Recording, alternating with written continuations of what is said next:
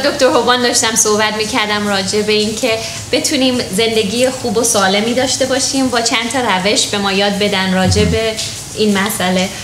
دکتر بعد از صبونه شما گفتین که یه سمودی شاید بخوریم برای صبونه بعد از صبونه بریم فکر کنیم داریم میریم سر کار. سر کار خب. چی کار می‌تونیم دیگه انجام بدیم؟ حالا سر کاریم نهارمونم یا آوردیم یا نه آوردیم خب اولا بستگی هم داره که کارمون چی باشه؟ بله.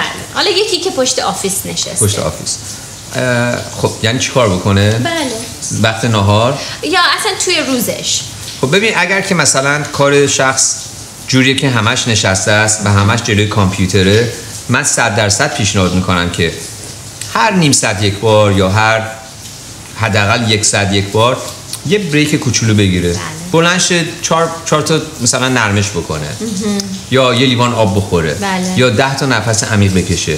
یا اگر همش تو office زیر نورای مهتابیه و غیره اگر می‌تونه یه 5 دقیقه 10 دقیقه break داره بره بیرون. یا بره نزدیک پنجره. یا بره نزدیک پنج آخه معمولا اینجا office building اش بله. پنجرهشون خیلیشون باز نمیشه متاسفانه. کسی از این بالا خودشو بندازه پایین. بله. مسئولیت بشه براشون برن sue شون کنن.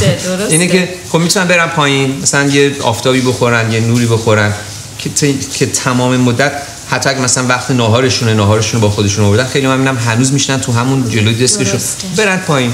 آره برن راه شاید یه پارک اون نزدیک باشه. بله. برن بشن توی پارک اگه هوا مناسب باشه یا آفتابی بخورن. چه پیشنهاد خوبی. بله یه غذایی بخورن. غذا هم به خیلی بهتره که اگه بتونن با خودشون درست کنن از قبل ببرن. مثلا چی ببرن؟